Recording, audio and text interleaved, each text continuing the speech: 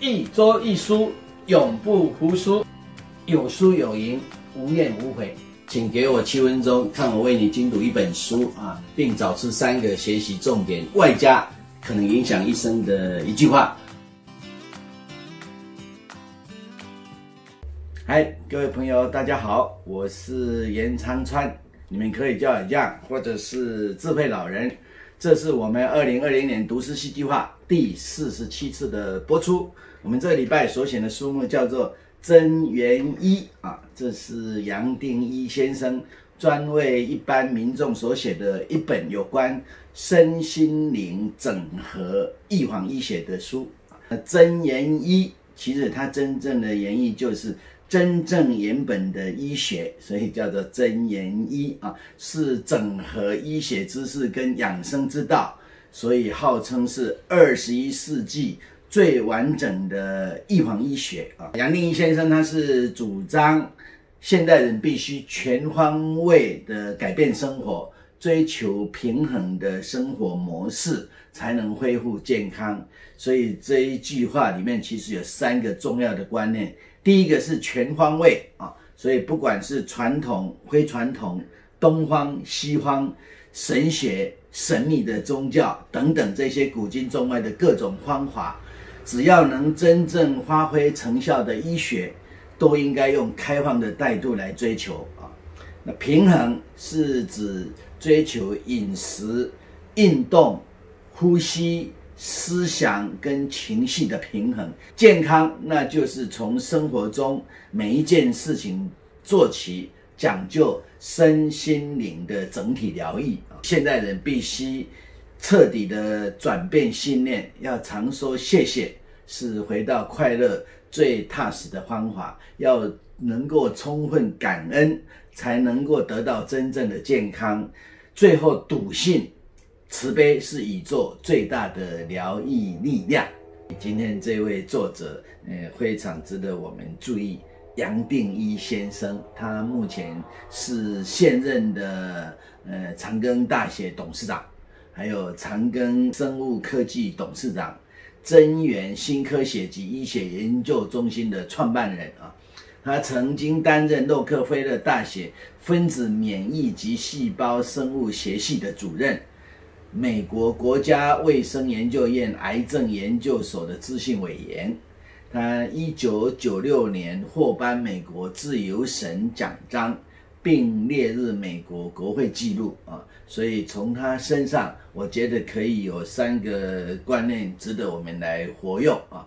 第一个是天才中的天才啊，杨定一五岁，他就会问母亲：人为什么活着啊？十二岁就决定未来要走向医学的研究，十九岁就已经取得巴西尼亚。医学院的第一个医学博士后，他就随着父亲从巴西移居到美国去深造。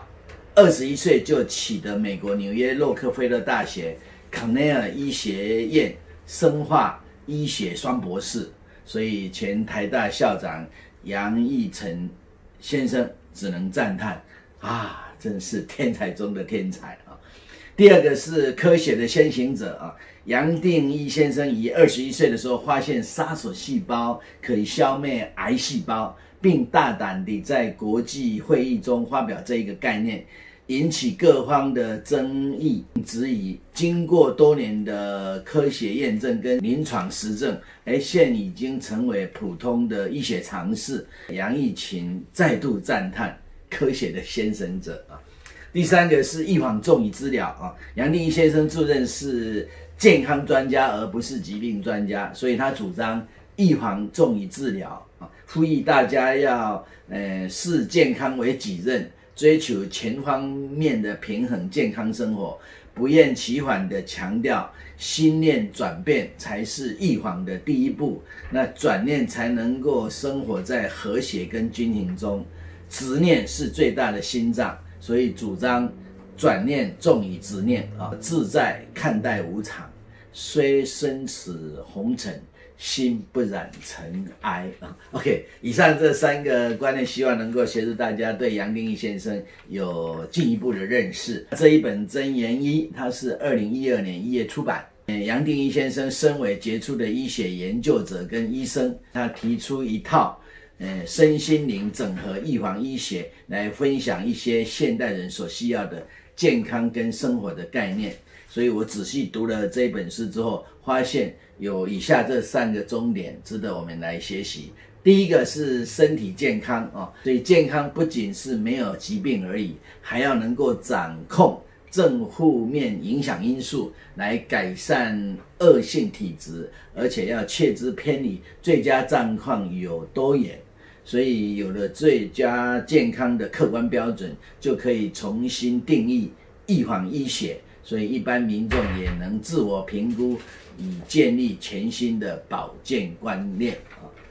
第二个学习重点是从心出发，心脏是人体中最强的生物振荡器，心跳速率会反映出健康的状况跟弹性，也是身心灵间的平衡测试啊。借心灵改造及调整呼吸，可以取得同步性跟合一性。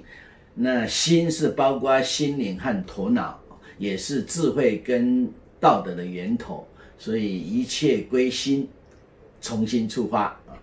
第三点是灵性修为啊，孩子是生命的延续，我们对灵性修为负有更大的责任，期望成为一个完整。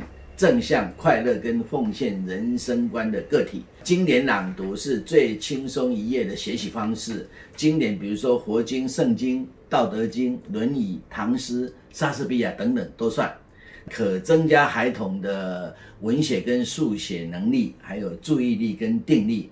来解决一些学习的障碍。以上这三点是我们这本书的整个重点啊。那疾病的病症啊，其实显示出身心灵在更深层次出现不和谐的现象。所以只要内心彻底转变，就能做到统一的状态，也就是真言一的最根本核心。以上是本周的学习重点。如果要我浓缩成一句话，那我觉得每一个人从小就应该要有。这样的一个概念，仅以身心灵的全人教育来追求真善美的人生目标。OK，再见，拜拜。